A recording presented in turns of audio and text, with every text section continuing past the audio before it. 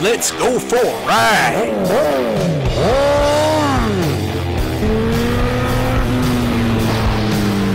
You are watching CycleCruza's all on one motorcycle channel. Subscribe today. You know, I just got a bill from uh, a toll company in Colorado, uh, Aurora, Colorado to be specific, saying that I used their toll section uh, back on September 2nd, and it cost me, uh, they sent a bill for $13.50. And I'm like, what the fuck? What uh, the fuck are they talking about, dude? I paid all of my tolls in cash with receipts, everything. Slow ass drivers, man. But yeah, I paid all of my tolls, man. And I'm like, what the fuck is this bill shit? And she said, oh, they don't have toll booths.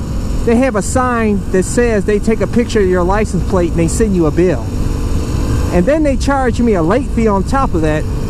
So the bill was $13.50 plus $5 late fee, $18.50. I'm like, what the fuck are you guys running here, man? You guys are running a scam in this bitch. Take a picture of the license plate and send them a bill.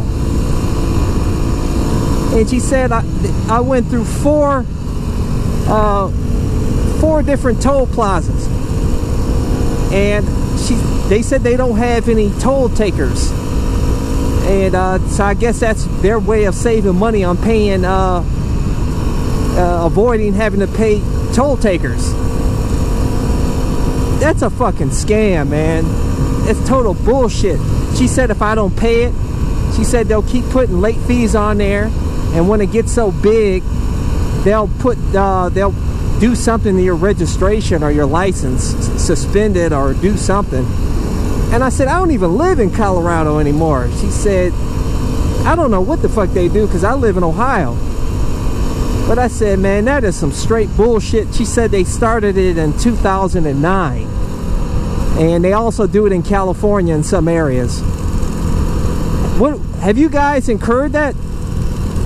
Freaking send you a bill out of nowhere saying you owe a toll and 13.50 at that. Well, it was for four tolls, so I that's not too bad, but still, I, I never once saw any signs. I don't remember at any point ever going through an area that did not have toll takers and a sign saying they'll take a picture of my license plate and send me a bill. I don't know, man. It could be a scam. I don't know. I went ahead and paid it with my credit card. If it is a scam, I'll just take it up with my credit card company. But uh, she she named my uh, the truck, my van, you know, the year, make, model, everything. She named the time, date. She said, we'll send you a picture of uh, of your vehicle if you think we're bullshitting you. And I said, no, it's all right. I'll go ahead and pay it. Fuck. I had to apologize to her because I almost ripped her ear off, man. I, I went fucking laid it on her, dude. And I know she can't help it. She's just working there. But I tell you guys, I don't know if I'm going back out to Colorado, man. They got some fucking scams running out there. But anyways, that's my little rant on this uh, these bullshit fucking toll scam they got going out going on out in Colorado.